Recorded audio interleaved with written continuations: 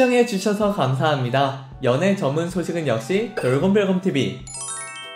안녕하세요. 돌곰별곰TV입니다. 이번 시간은 트바로티 김호중 씨에 대한 소식을 전해드리겠습니다. 첫 번째 소식입니다. 김호중 씨의 짧은 다큐멘터리와 함께 아리스 분들의 엽서가 공개되었습니다. 지난 11일 김호중 씨의 공식 채널에는 2021년 6월 11일 Dear 아리스 My Way 김호중이라는 제목으로 영상이 공개가 되었는데요. 해당 영상에서는 이 시절부터 시작해 김호중 씨의 일대기를 짧게 담은 다큐멘터리로 시작이 되었습니다. 김호중 씨가 세계 최고의 테너 파바로티를 보고 성악가의 꿈을 꾸게 된 시절로 시작해 김호중 씨가 교회에서 지휘를 하고 성악을 가르치던 선생님에게 막연히 배우고 싶다는 일념 하나만으로 찾아가 레슨을 받기 시작한 어릴 적 당돌했던 김호중 씨의 모습이 전해졌습니다. 하지만 김호중 씨는 현실적인 벽에 부딪혔는데요. 바로 만만히 볼 것이 아닌 학비, 레슨비 등 돈에 관한 일이었습니다. 김호중 씨는 또래 친구들은 자신보다 더 레슨 횟수가 많았던 사실에 알고 보니 돈을 더 지불하고 레슨을 받았다는 사실에 음악도 돈이 없으면 안 되는구나 라며 현실적인 고민에 빠지게 되었고 성악의 꿈을 내려놓기까지 다다르게 되는 모습이 전해지며 다음 주에 공개될 영상에서 남은 이야기들을 전해줄 것을 예고했습니다. 이어 등장한 진행자는 이번에 새롭게 공개된 김호중이라는 다큐멘터리 코너를 소개하며 점점 더 알차게 구성되는 영상에 아리스들의 열성적인 반응을 자아내게 했습니다. 이어 진행자의 이름은 보라별로 지어지며 김호중 씨에게 누가 되지 않게 최선을 다하겠다고 전했습니다. 또한 김호중 씨를 향한 마음을 담은 아리스의 엽서 또한 공개되며 팬들의 눈길을 끌었는데요. 마무리로는 김호중 씨의 네순도르마를 끝 끝으로 다음 주를 기대케 했습니다. 여러분,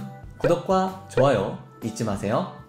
두 번째 소식입니다. 김호중 씨의 팬클럽에서 여태까지 기부했던 금액이 5억을 돌파했다는 사실이 공개되며 감탄을 자아내고 있습니다. 앞서 트바로티의 봉사 동호회 셀럽 아리스는 고양시 장애인 체육대회에 500만원을 기부한 바 있는데요. 셀럽 아리스 측은 블로그를 통해 고양시 장애인 체육대회에서 추진하는 장애 가족 힐링 나들이, 비장애 형제자매 프로그램 하이업, 찾아가는 지체장애인 체육활동 등 사업에 대해 알게 되었다. 고양시의 뜻깊은 지원 사업에 동행하고 싶은 마음이 들었다. 기부를 통해 김호중 가수의 선한 영향력을 펼치고 기부 문화에 좋은 본보기로 자리매김하고 싶다라며 뜻을 전했는데요. 김호중 씨의 각 지역 팬클럽들은 지속적인 기부 활동으로 따뜻한 손길을 건네며 세상을 사랑을 훈훈하게 물들였는데 이 같은 활동들이 하나하나 쌓이며 김호중 씨의 팬클럽들이 지금까지 기부한 금액이 5억이 넘었다고 알려져 팬클럽을 대표해 귀감이 되고 있습니다. 이어서 댓글 이벤트를 진행하도록 하겠습니다. 먼저 조길희님의 댓글입니다. 김호중님 역시 국보급 가수 최고입니다. 군백기가 무엇이더냐? 라고 댓글을 달아주셨습니다. 다음은 김덕인님의 댓글입니다. 아리스님들, 호중님 사랑하시고 응원하는 마음 존경합니다. 우리 모두 다 같이 호중님 승승장구를 위하여 화이팅! 이라고 댓글을 남겨주셨네요. 다음은 한영옥님의 댓글입니다. 아리스님들 대단해요. 큰 사랑받을 만한 호중님 함께 할래요. 아리스님들 모두 모두 건강하세요. 라고 댓글을 남겨주셨습니다. 마지막으로 모나리자 순이님의 댓글입니다. 시작이 반, 이제 1 1년이면 만나요. 김호중 2해 지나면 내년에 만난다니 벌써 행복합니다. 라고 댓글을 달아주셨습니다. 이 외에도 댓글을 달아주신 많은 분들께 정말 감사드립니다. 화제가 되었던 트바로티 김호중 씨에 대한 소식을 전해드렸습니다. 여러분께서 응원하시는 김호중 씨의 소식은